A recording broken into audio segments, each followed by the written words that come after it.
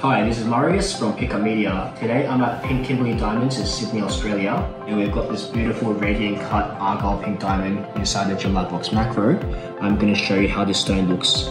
So with the 10 times zoom on the Gem Box macro, we're able to see all the fine details.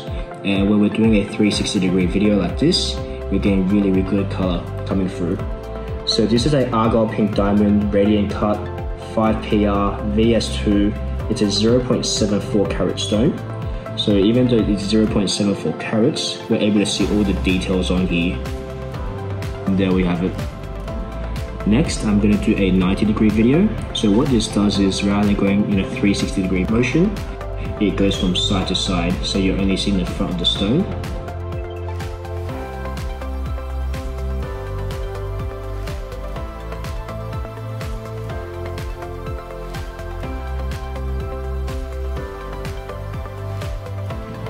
very good.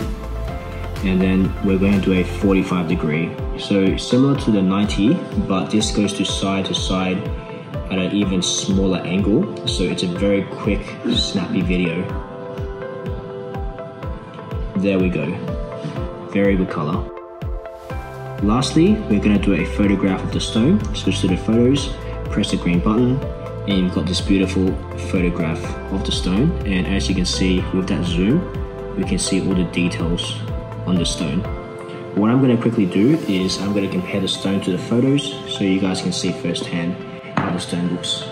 This is the 360 degree video that we just took and that's the radiant cut argyle pink diamond. So as you can see, color is really good and the video really does it justice and we can see all the details with that 10 times zoom. I hope this video has been helpful. Please feel free to message us if you have any questions about the Gem Lightbox Macro. Thank you.